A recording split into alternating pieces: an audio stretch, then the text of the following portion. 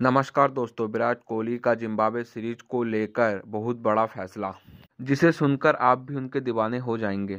जी हाँ दोस्तों, विराट, दरअसल बीसीसीआई ने विराट कोहली के खराब फॉर्म को लेकर चिंता ज़ाहिर की थी और इंडिया के वेस्टइंडीज दौरे के बाद जिम्बाब्वे के खिलाफ होने वाले ओडीआई सीरीज़ में विराट को खिलाना चाहते हैं, जिससे Virat Kohli T twenty World Cup से पहले अपने अपने खोए हुए फॉर्म में वापसी कर सके, जिसको लेकर विराट कोहली का जवाब सामने आया है।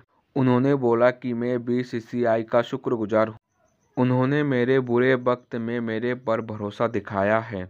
मैं उस भरोसे पर खरा उतरना चाहता हूँ और इंडिया को जीत दिलाना चाहता हूँ। तो दोस्तों, आपको क्या लगता है, क्या विराट कोहली अपने खोए हुए फॉर्म में जिम्बाब्वे सीरीज़ से वापसी कर पाएँगे, अपने राय कमेंट बॉक्स पर ज़रूर दें।